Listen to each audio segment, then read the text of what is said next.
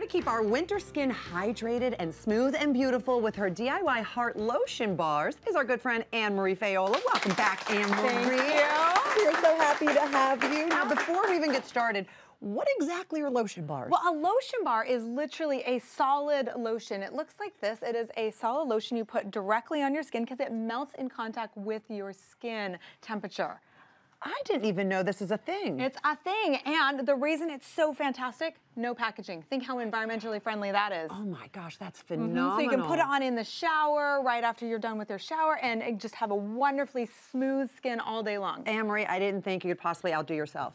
You go from making these amazing soaps to now making lotion bars. All right, so what do we need to go in these? So a lotion bar is essentially, bars? well, it's oils and waxes. And so for this particular mm -hmm. recipe, I've chosen sweet almond oil, cocoa butter, and white beeswax. And smell this cocoa butter. I was gonna say it smells like chocolate. Uh-huh. Main ingredient in chocolate making and in skincare products, people use it a lot for stretch marks and anti-aging. Right. Uh-huh, exactly. And then we have a little bit of sweet almond oil and a little bit of white beeswax. And the sweet almond oil is fantastic to help provide moisture and really smooth out any sort of unevenness or cracks in your skin from okay. it being dry. What's the difference between white beeswax and regular beeswax? Can we just use regular? You could absolutely use regular, okay. but I want you to smell this white beeswax.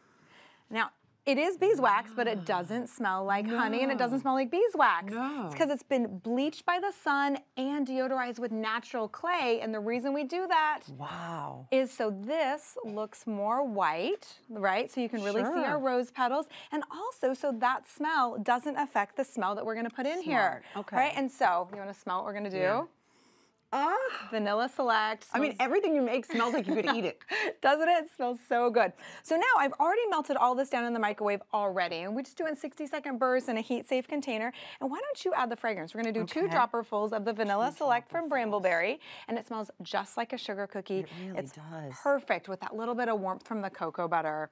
And so we've melted all of our ingredients together. Okay. And then we're adding our fragrance. And then what I want you to do is I want you to take some of these rose petals and just put them in the bottom of our silicone mold. Okay. Like we do with the soaps. Exactly, just put them okay. right in the bottom. And then what I'm gonna are do- Are these scented as well? Those are just dried rose petals. Okay. And I'm just gonna pour a little bit of this in the bottom, just kind of to glue those rose petals to the bottom, because otherwise, think about what would happen to our rose petals. Right. They would float, float. to the surface, which is back mm -hmm. here.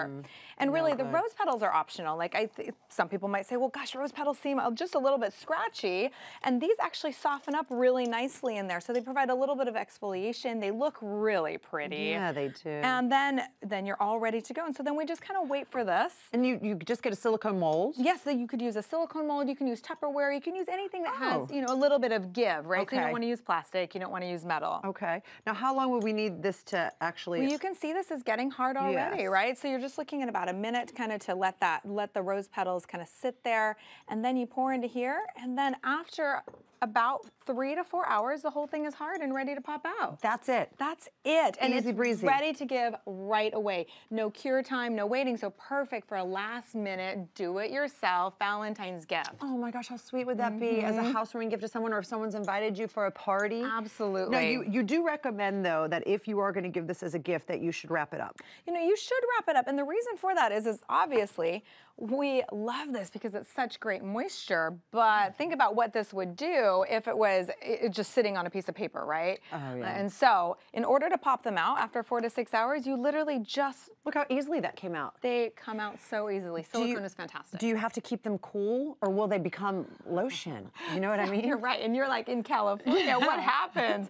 So if they, that's why packaging is really nice. So you can put them in a tin, you can put them in a box. If you leave them in a hot car, sure, you do run the risk of a little bit of meltage.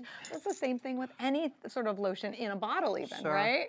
I would just recommend not to put these in a cookie tin. Right. Because someone might actually wash their mouth out with lotion. Or want to eat it. That's what I mean. Yeah. I think this is the first time I've ever wanted to wash my mouth they out with lotion. They smell so good. They, they smell edible, so just be careful with that. Oh, Anne-Marie, thank you and so much. Perfect These are gifts. really so cute. What a great Valentine's Day gift. Fantastic. For full instructions, you all can head on over to hallmarkchannel.com. And for more from Anne-Marie, be sure to visit brambleberry.com. Stick around, more with the family next.